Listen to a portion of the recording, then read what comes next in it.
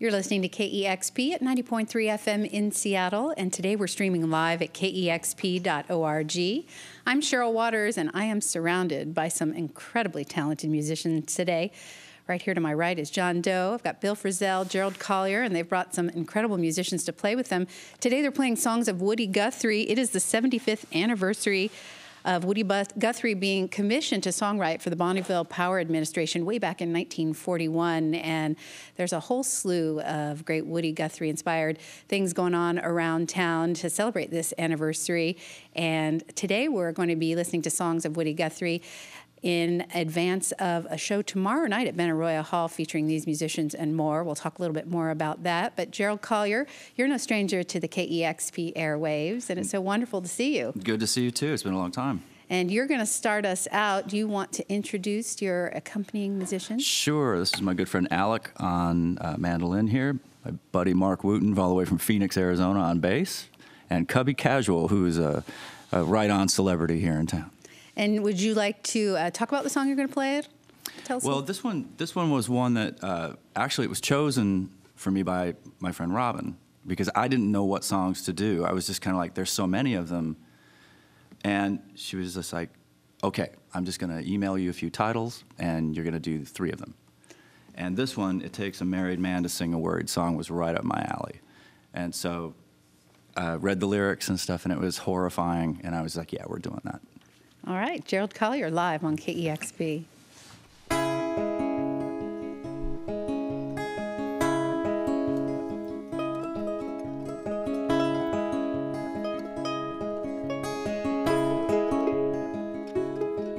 You single boys can ramble, you single boys can roam, but it takes a married man to sing a worried song. I'm a married man.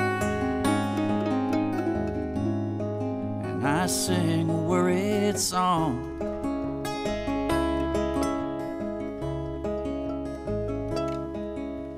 I once used to ramble, and I sang my single song. Now that I'm married, boys, I had to change my tune.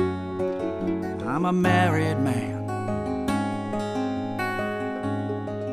I sing a worried song.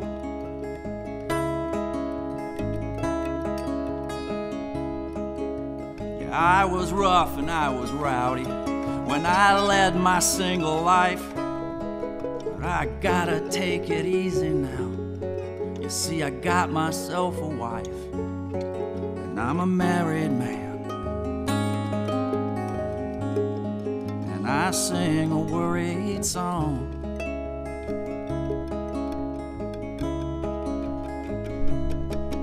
I got six little children to feed and educate. And it's really got me thinking I got not a nickel on my plate. I'm a married man. And I sing a worried song.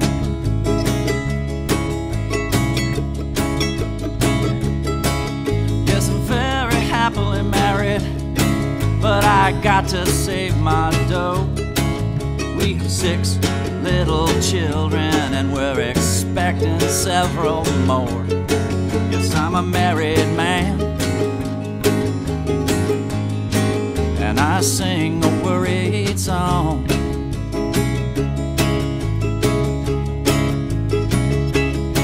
Yeah, we got six little children, and we're expecting several kids run out like cattle every time I open up the door. Yes, I'm a married man, and I sing a worried song.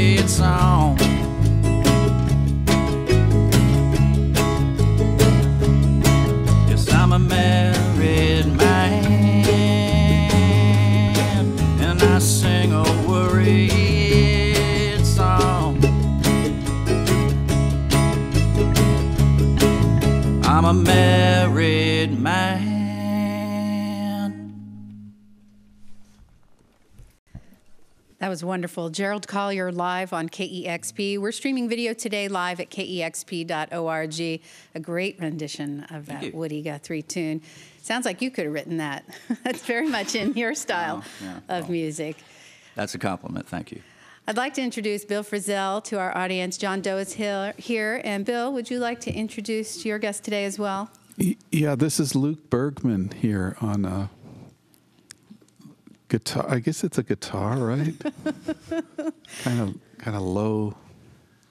It's made out of a whiskey barrel. So Before you start playing, I'd love to speak about Woody Guthrie a little bit and what um, his music means to all of you. Obviously, um, such a huge impact, and any of you can speak up here, but I don't think uh, anybody alive today hasn't been touched by Woody Guthrie's music in some way, and uh, most everyone I know is a fan. I can't speak for everyone, but certainly he's touched a lot of people's lives, and he really wrote music for the common man and people he could really relate to. And Bill, especially, I know you've covered a lot of music, and I'm wondering what this, you know, this music means to you. Oh wow! Yeah, it's. I mean, it's such a long. When I think of when I was young, there was Davy Crockett and Superman and Woody Guthrie. I didn't know. I didn't even know he was a real person. You know. I think. And then when I was probably in elementary school, we all sang "This Land Is Your Land," and I, I came to know him very slowly over my lifetime. So, and actually, probably more through hearing Bob Dylan, and then you start hearing people referring to him, and then gradually he became a real person. I mean, it, you know, at the beginning he was more. I didn't even know if he was real or not. You know, so he's becoming more and more real. I mean, he is a folk hero, and one of the amazing things about an artist who reaches his stature is that people of all ages are impacted by him, and Yeah. he, it, it goes on a wide spectrum, and you discover him at different points in your life. I think. and it's so relevant. It just it just continues to be uh, every so much of what he talked about is, you know, it could it's right now. Yeah, not much is. Yeah, I mean, it, it could all be touched very easily right now. I mean, let's face it, that atmosphere, that atmosphere could very easily come back if it's not already here. I mean, that's it. That was some trying times, and who knows, man? You know, we're never far away from it. I, I would also add that there's uh, there's a lot of his lyrics that are still being made into songs. Yeah, I think there's right. a I think Nora Guthrie's got a project going right now where she's I forget who is was given to, but somebody is going to write more Woody Guthrie songs. I feel With I feel the same way. I heard about that, but I can't even remember I- I- the whole I story. I, I saw her uh, at South by Southwest, and she said that she um, maybe Billy Bragg again. Yeah, maybe. Yeah. But- But, but didn't Lucinda get like one? that. I thought Lucinda got one too. Maybe. I know could Del. McCoury just did. Del a- McCoury did I one. saw a record of his. I Oh yeah, think. that's that's awesome. It's really great. Yeah, it's called uh, Woody and Del or Del and Woody or something like that. Yeah. Oh, terrific. But um, yeah, it's it's still it's it's amazing, and and sh- and I guess he would Woody Guthrie would get a one of those composition books and just start writing, and then just sit down and write all the way through it, from beginning to end. You know, wi- within a few days, which is frightening and Yeah, I just can't even imagine. Can makes you, I me mean, jealous. Sitting and down and doing else, that. yeah. it- it's so appropriate that we don't even know all of the projects that are going on with this massive amount of music, which makes me um, want to ask. I have been familiar with Woody for most of my life. I mean, I heard his music early and still continue to play it on KEXP all the time. But it was only recently that I was actually familiar with this Bonneville Power Administration project, where he was doing music about my own area the, here on the Columbia River. How, how did you all become familiar with this project? I'm so excited to be hearing so much about it right now. And Greg Vandy, one of our KEXP hosts, just wrote a book about it. And uh, it's exciting to learn that he was writing specifically about this area. Are you have are you f- familiar with that? Is that something you'd known about for a while? Just the just some of the songs. You know, I, I knew the Grand Coulee Dam and Pastures of Plenty and a few like that, but I didn't actually realize until someone called up and said, "Hey, do you want to be part of this thing?" That he had written what 26 songs in 30 s- in 30 days. Yeah, go figure. Ready? Yeah, Go. Yeah, ready, go. Crazy. Well, it's so incredible because he was actually commissioned and it was a 30 day project. I think Yeah. it was through May through June in 1941. And as you said, he just probably filled some composition book for that period. Well, Billy, you're, what are you going to play for us? You're going to play a couple of tunes. Yeah. Well, this is it's a little odd, you know, playing the, the his songs are so much about the words and uh, we're we're so I, I guess I'm sort of hearing little snippets of the words in my head. And also he would use so many of his songs he would lift a melody from something that he had heard before. So we're going to play Ramblin' Around, which actually, that tune is from, I believe, Goodnight Irene, Leadbelly. But then who knows where Leadbelly got it? So, you know, it just keeps going back and back and back. And then we were going to do a version of Pastures of Plenty. uh, that's what we're going to do. All right. And it's, but just with our guitars, Luke and I. That's wonderful. We're streaming live at kexp.org.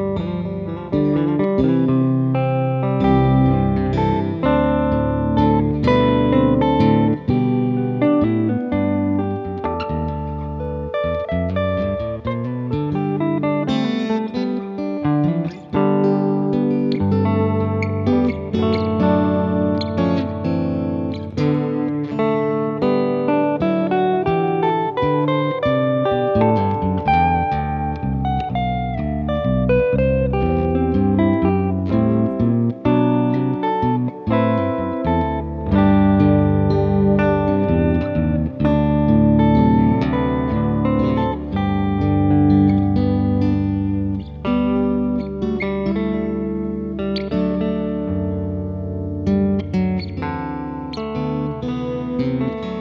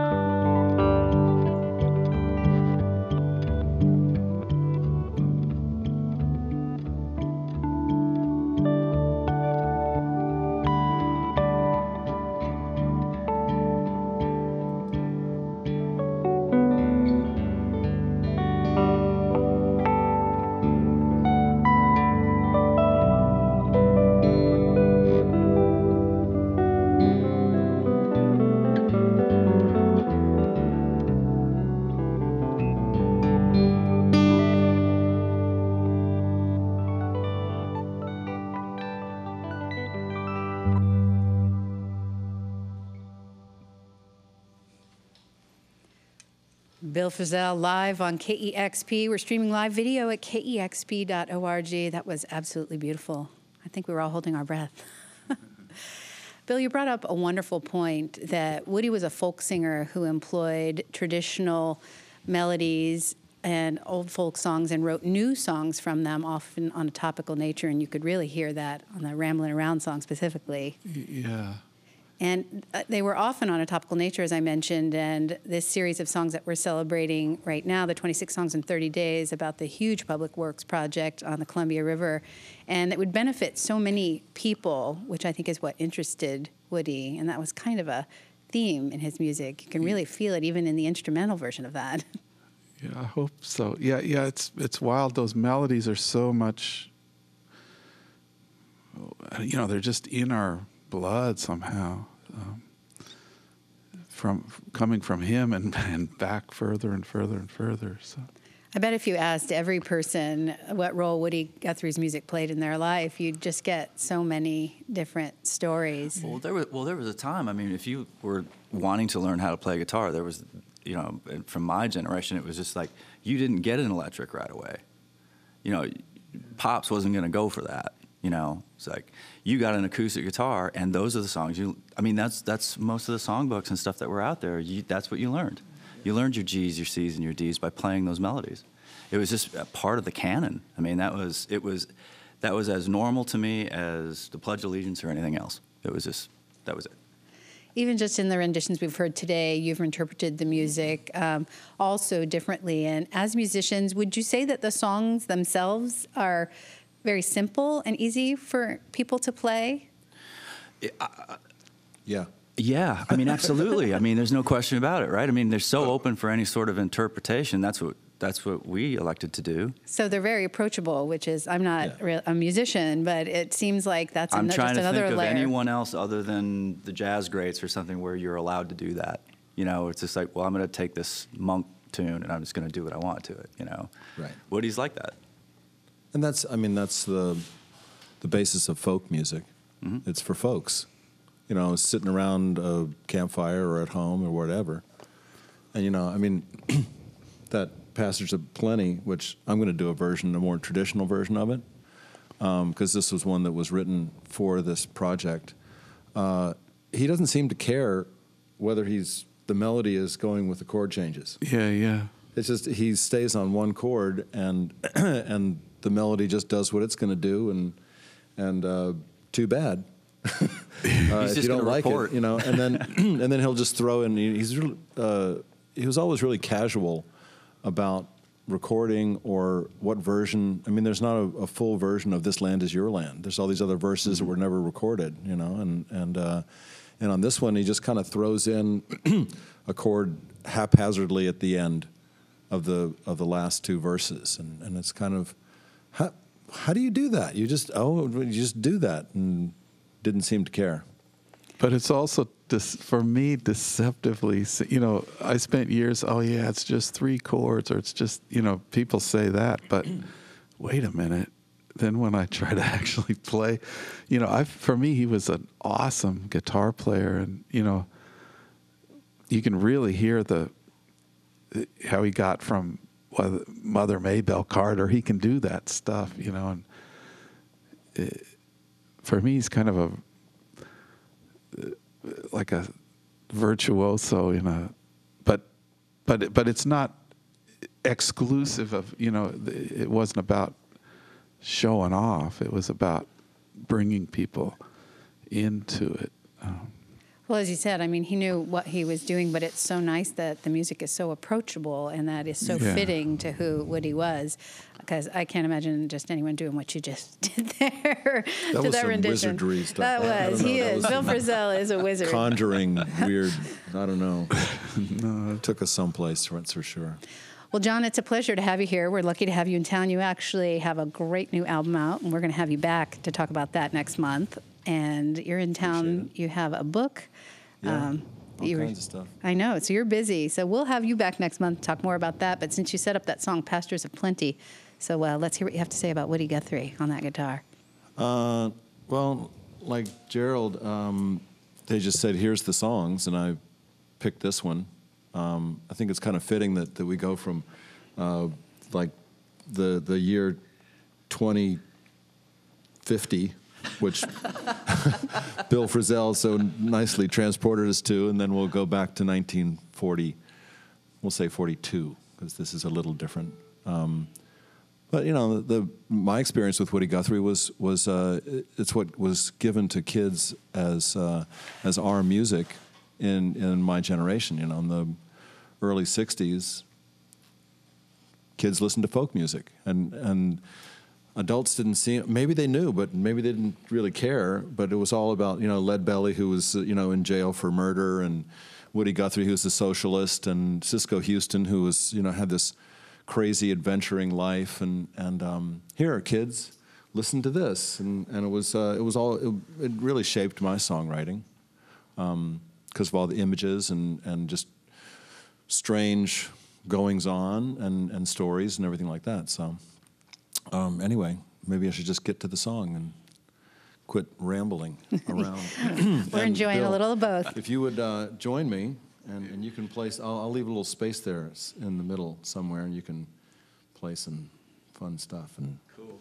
Here's the here's the more traditional version of this song.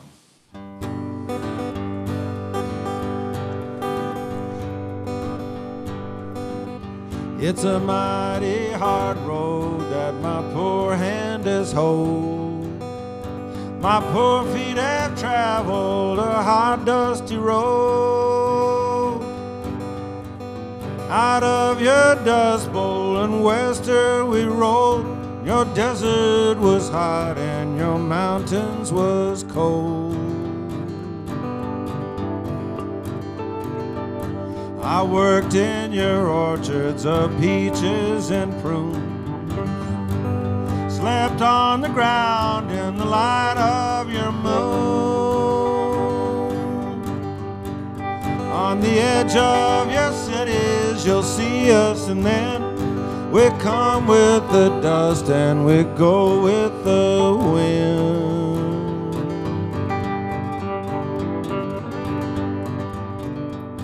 California and Arizona, I make all your crops, and it's north up to Oregon to gather your hops. Dig your beets from the ground, cut the grapes from your vine to set on your table your light sparkling wine.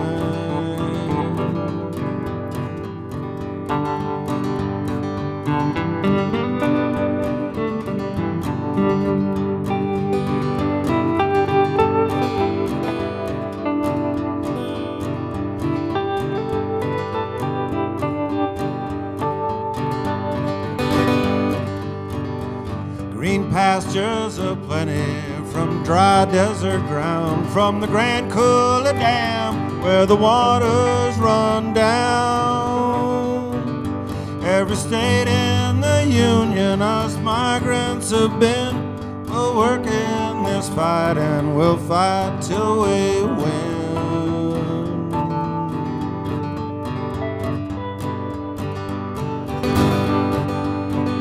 Well, as always, we ramble that river and I, all along that green valley, I'll work till I die. My land I'll defend with my life if it be, cause my pastures of plenty must always be free.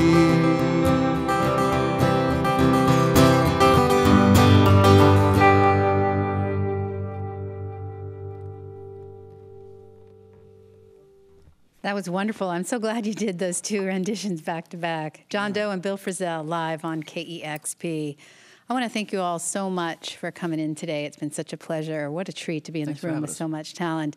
And tomorrow night, you're all playing at Benaroya Hall. More songs of Woody Guthrie, and you'll be joined by Sera Cahoone, Shelby Earl, Ian Moore is going to be there, Dave Alvin, Tim Easton. Hopefully, I haven't missed anyone. That sounds like an incredible evening. Sure. And playing more songs of Woody Guthrie. And that actually is a benefit for the Woody Guthrie Center and SMASH, which is Seattle Musicians Access to Sustainable Healthcare. So wow, that's a um, mouthful, isn't it? That is a mouthful. no wonder they call themselves SMASH. But great music for a great cause. And wow, again, so humbled to be in the room with these wonderful musicians today. Thank you all for taking time to come by. Thank you. You're welcome. Thank you. Thanks. Thank you for having us. It's Gerald Collier, Bill Frisell, John Doe and Company live on KEXP Seattle.